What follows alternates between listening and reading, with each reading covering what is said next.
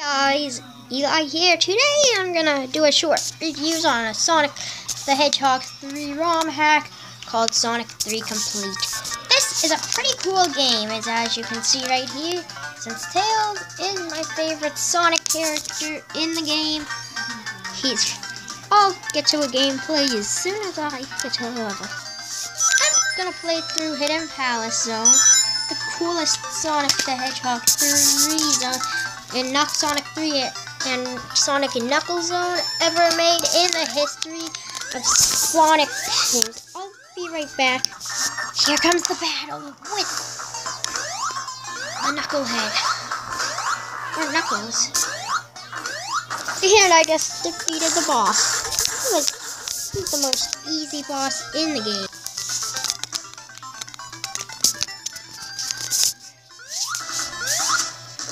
This is something that happens to Knuckles.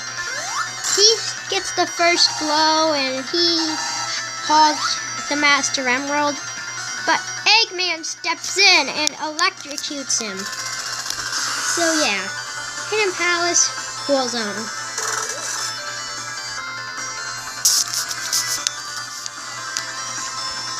So Sonic 3 completes a ROM hack of Sonic 3 and Knuckles.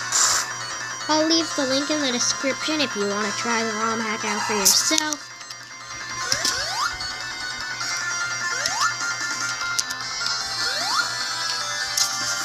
And Knuckles is tired. This is the Sky to Sky Sanctuary cutscene with Sonic, the characters you're playing through. This is Sonic. Anyway, just wanted to show a short reviews on playing through Hidden Palace, so bye.